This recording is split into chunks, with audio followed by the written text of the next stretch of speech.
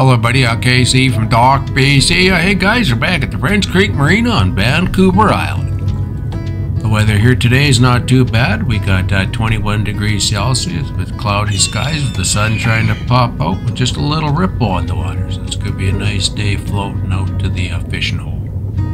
Take a look at this nice looking boat. I wouldn't mind having this one sitting on my driveway.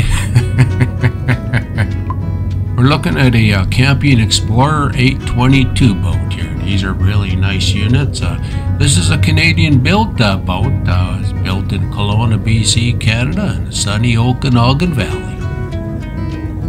Here's some info on the 822. The length is 30 feet 3 inches. The beam is 9 feet 6 inches, so that's a nice BB boat for catching the big one. The dry weight is 7,877 pounds.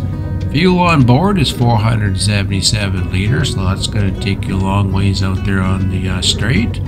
Fresh water 69 liters, and the wastewater is 98 liters. So you can spend a nice weekend out in the water before returning back to the dock to top up all your tanks.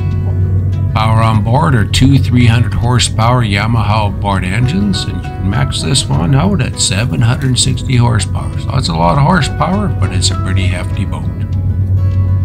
On board, you have a full galley with a sink, single burner stove top, microwave, and a fridge freezer combo. The 822 has a head on board, it has a sink, a toilet, and a shower.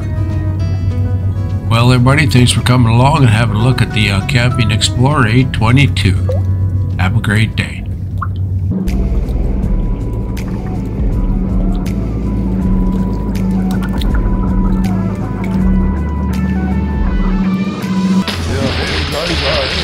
Coming to Dock BC and watching the video, eh?